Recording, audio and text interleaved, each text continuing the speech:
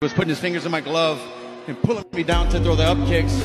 I was trying to let Herb know that this guy's a dirtbag, man. The ground and pound was very effective.